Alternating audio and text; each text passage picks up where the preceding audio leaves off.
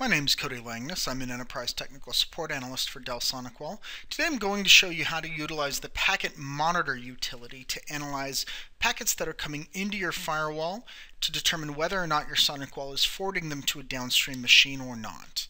The packet monitor allows you to analyze both ingress and egress packets separately by monitoring intermediate packets. That's very useful.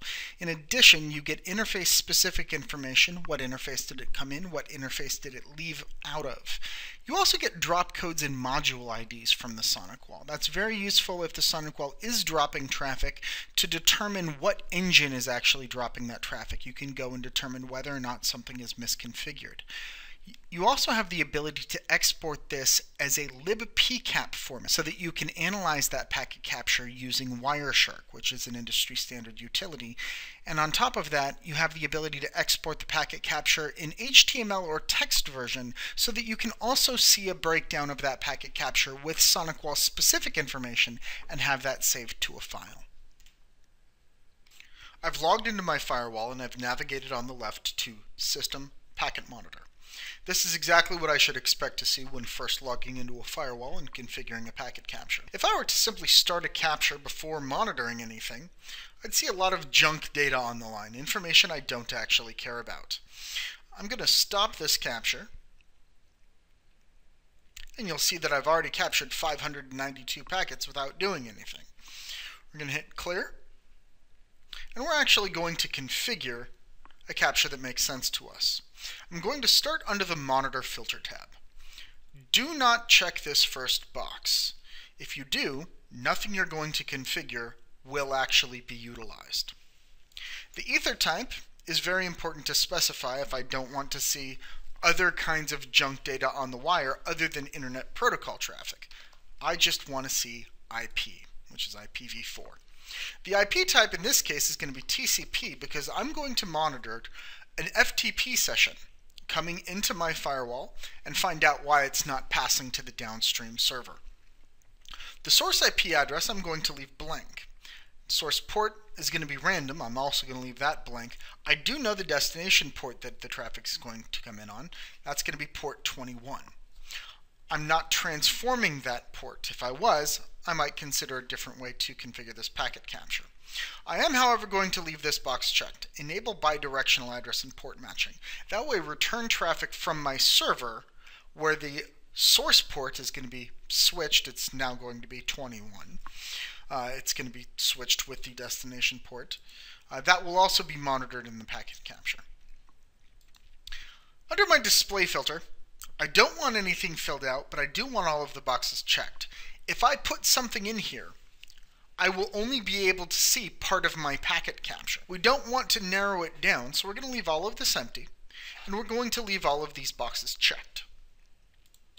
Under Advanced Monitor Filter, I'm going to check everything. I want to see firewall generated packets in case my SonicWall sends a reset packet. I also want to see intermediate packets and any intermediate traffic that applies. If the SonicWall breaks down the packet into multiple packets when viewing it, I would like to see where in that line this traffic does get dropped. I'm going to press OK to save all of those changes. And I'm going to press Start Capture.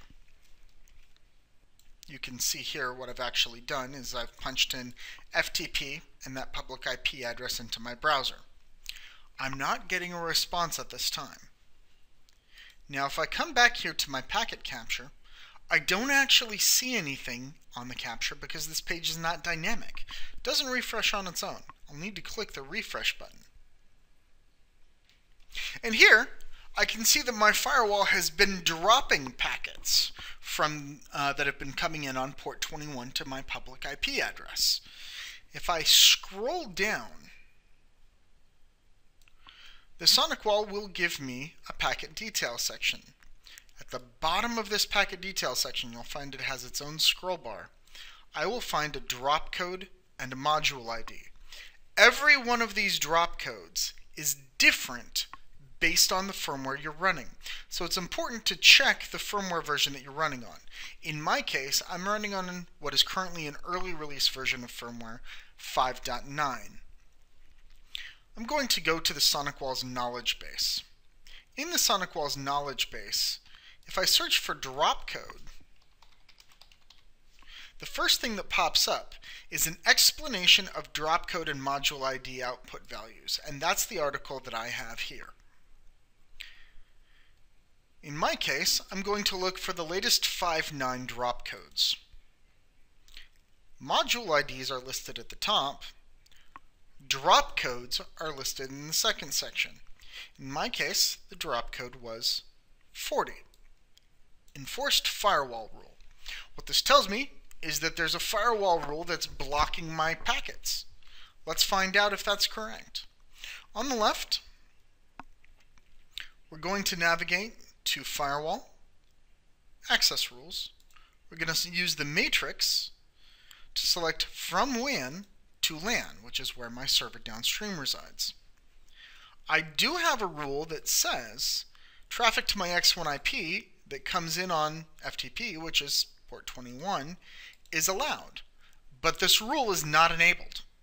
I'm going to check this rule, and now that rule is enabled. Let's go back to System, Packet Monitor, hit Clear, and we're going to try again. I'm still not able to access my server. Perhaps there's another reason. When I come back to System Packet Monitor and I click Refresh, this time I see that the traffic is not being dropped, but neither is it being forwarded. The first packet says it was consumed by the SonicWall's logic, and the rest were received. This indicates the SonicWall didn't actually have anywhere to send the traffic. It may be that my NAT policy is not correct if this is the case, so we're going to go check. Network NAT policies. Now I do see that I have an inbound rule that says that whenever traffic comes to my X1 IP for the FTP port, I send it to the option server old. However, server old is not the server that I actually want to send that traffic to. I want to send it to server new. Perhaps server old is something that I no longer have in my network. If I come back to System Packet Monitor, and I clear that traffic, and I try again,